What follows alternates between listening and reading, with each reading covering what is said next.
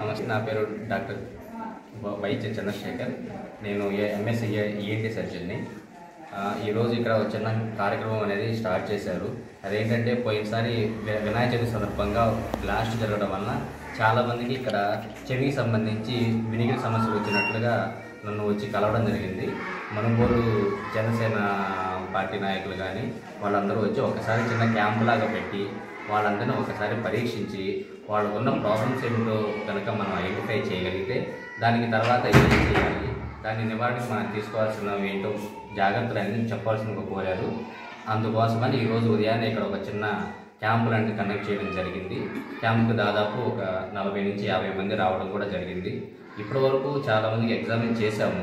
చేసిన దాంట్లో చాలామందికిను ఆ సౌండ్ ఎఫెక్ట్ వలన చెవిలో ఒక రకమైన సౌండ్ రావడం దాన్ని టినిటస్ అంటారు సౌండ్ రావడం. కానీ చాలామందికి కూడా కన్నబెరి పొరకి రంధ్రాలు పడడం అయితే జరిగిందండి. వాళ్ళందరికీ మనం ఎండోస్కోపీ చేసి దానిలో చూపించడం జరిగింది. చూపించిన చేసిన తర్వాత వాళ్ళకి తీసుకోవాల్సిన జాగ్రత్తలు ఏంటి దానికి ఏమేం చేయాలి? ఒకవేళ కనుక ఆ రంధ్రాలు పుడు పూడుకుపోతే దానికి తర్వాత ఏమేం చేయాలనేవన్నీ కూడా చెప్పడం జరిగింది.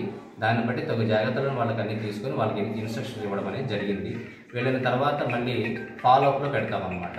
అంటే నెల రోజులు కానీ లేకపోతే రెండు నెలలు కానీ ఫాలోఅప్లో పెట్టి వాళ్ళకి తగ్గిందో లేదో చూసుకొని దాన్ని బట్టి తదనుగుణంగా అవసరమైతే కొంతమందికి ఆపరేషన్ కూడా చేయాల్సి వస్తుంది. చేయాల్సి వస్తే కూడా వీళ్ళు ఆరోగ్యశ్రీలో మా వాళ్ళందరికీ తెలు అని చేయమని అడిగారు. ఏదైనా అవసరం ఉంటే కూడా ఆరోగ్యశ్రీలు ఉచితంగా వాళ్ళందరికీ సర్జరీలు కూడా చేయడం అనేది మేము చేస్తామన్నమాట.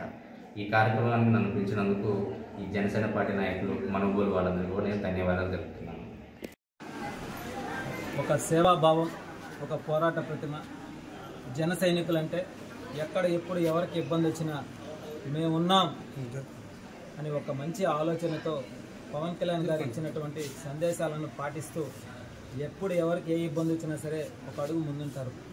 అందులో భాగంగానే ఏదైతే ఇటీవల వినాయక చవితి నిమగ్నం సమయంలో ఏదైతే మనుగోలు మండలంలోని బీసీ కాలనీ నందు నల్లమందు పేలుళ్ళలో అపశృతి జరిగి ముప్పై మంది దాకా దెబ్బలు చెవుల్లో ఆ సౌండ్కి కర్ణబేరులు దెబ్బతినడం అనేక విధాలుగా రక్తగాయాలు జరిగింది.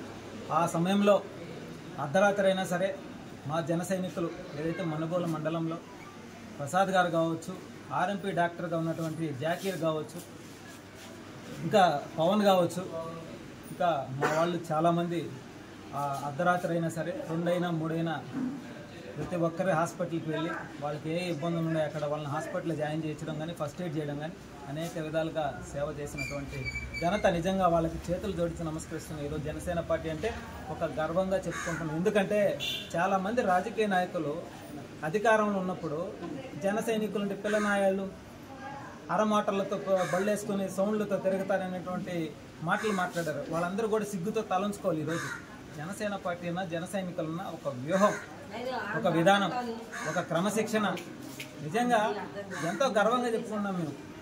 అదేవిధంగా ఏదైతే ఈరోజు వాళ్ళందరికీ కూడా ముప్పై మంది దాకా ముప్పై మందికి పైగా ముప్పై నుంచి నలభై మందికి పైగా వాళ్ళకి చెవుల్లో ఈ రంధ్రాలు పడ్డం చెవులు వినికిడి సరిగా లేకపోవడంతో చంద్రశేఖర్ గారు ఈఎన్టీ స్పెషలిస్ట్ని తీసుకొచ్చి మా జన సైనికులు ఇక్కడ మెడికల్ క్యాంప్ లాగా పెట్టి వాళ్ళందరికీ కూడా ఎండోస్కోప్ ద్వారా చెవుల్లో ఏ విధమైనటువంటి ఇబ్బందులు ఉన్నాయి? కన్నబేరి ఎంతవరకు దెబ్బతినింది? వాటన్నింటిలో కూడా చెకప్ చేసి వాళ్ళకి ఉన్న దాంట్లో మందులు ఇచ్చి ఏదైనా ఎక్కువ శాతం దెబ్బతింటే వాళ్ళకి ఒక నెల తర్వాత మళ్ళీ ఆరోగ్యశ్రీ కింద కానీ ప్రభుత్వం నుంచి కానీ ఏదో ఒక విధంగా వాళ్ళకి ట్రీట్మెంట్ ఇప్పించడానికి ప్రయత్నం చేస్తున్నారంటే నిజంగా జన సైనికులు అంటే ఇలా ఉంటారు అనేది ప్రతి ఒక్కరూ గుర్తుపెట్టుకోవాలి? అదేవిధంగా ఈరోజు ఇంత మంచి ఆలోచనతో మనుబోలు మండలంలో ఈ కార్యక్రమాన్ని చేసినందుకు ప్రతి ఒక్కరికి పేరు పేరున నా హృదయపూర్వక ధన్యవాదాలు తెలియజేస్తూ ఇదే వ్యూహంతో ఇదే సర్వేపల్లి నియోజకవర్గంలో జనసేన సైనికులందరూ కూడా కరోనా సమయంలో కావచ్చు వరదల సమయంలో కావచ్చు మేము సైతం అంటూ అడుగులు ముందుకు వేస్తున్నాం. ఇదే వ్యూహంతో మనం ఇంకా ముందుకు వెళ్ళాలని చెప్పి సర్వేపల్లి నియోజకవర్గంలో జనసేన పార్టీ ఇంకా బలంగా తయారవ్వాలని చెప్పి మనస్ఫూర్తిగా కోరుకుంటూ ఏదైతే మా అధినేత జనసేన పవన్ కళ్యాణ్ గారు వేసి ప్రతి అడుగులో అడుగు వేస్తూ మేమంతా కూడా కలిసి కట్టుగా ఆయన ఆశయ సాధనలో అడుగులు ముందుకు వేస్తున్నాం.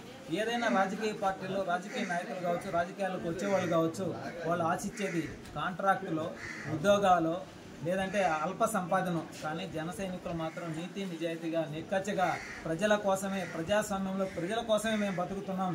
ప్రజా పోరాటమే మా లక్ష్యం. ప్రజలకు సేవ చేయడం మా ఉద్దేశం అని చెప్పి ఒక మంచి ఆలోచనతో ముందుకెళ్తున్నారంటే వాళ్ళందరికీ కూడా నిజంగా నేను గర్వంగా చెప్పుకున్న సర్వేపల్లి నియోజకవర్గంలో నాలాంటి వాళ్ళు పుట్టడం అనేది చిన్న విషయం కాదు. మరి నాకు జన్మనిచ్చిన భ- భగవంతుని కూడా నేను ఒకటే కోరుతున్నా ఈ సర్వేపల్లి నియోజకవర్గంలో పుట్టడం జనసేన పార్టీలో జెండా పట్టుకోవడం మా జన సైనికులు ఎంతో హుందాగా అనేక సేవా కార్యక్రమాలు చేస్తూ పార్టీని బలంగా ముందుకు తీసుకువెళ్తున్నారంటే వాళ్ళందరికీ కూడా హృదయపూర్వక ధన్యవాదాలు తెలియజేసుకుంటూ పంచాయతీల్లో కూడా ఏదైనా వర్షాలు వచ్చి అంటువ్యాధులు వచ్చే సమయాల్లో బ్లీచింగ్ కొట్టడం కావచ్చు అక్కడ పరిసరాలను క్లీన్ చేయడం కావచ్చు వాటన్నిటిని కూడా అనేక విధాలుగా చేసుకుంటూ పోతున్నామంటే మాకు ఇంతకంటే ఇంకేం కావాలి?